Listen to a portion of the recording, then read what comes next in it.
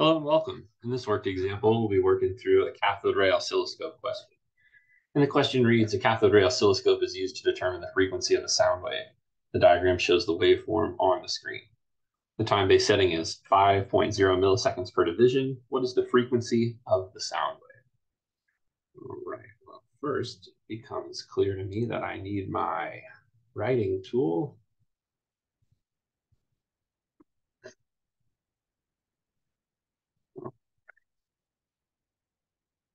All right, so let's start uh, with the information that's given. We've got 5.0 milliseconds per division.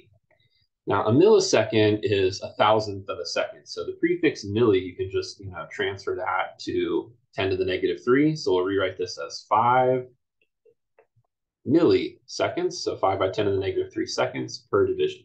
Now, if we look at the if we scope the oscillations that are uh, on the screen here, we can see that there is one waveform, two and a half, exactly two and a half waveforms occupying one, two, three, four, five, six, seven divisions. So we want to cancel out divisions. So we can say that there's seven divisions, seven divisions per 2.5 waves.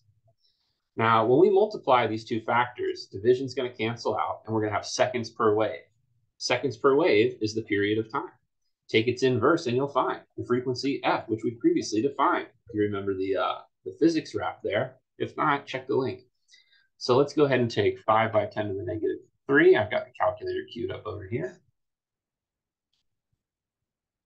So 0.005, 5 by 10 to the negative 3, divided by 2 five, and that gives us the time period.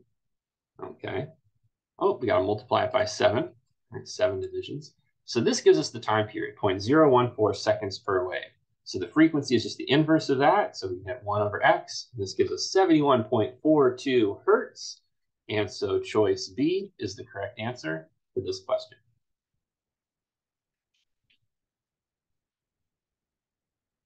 This has been another worked example with Dr. Schleif, still living the physics life. We'll see you next time.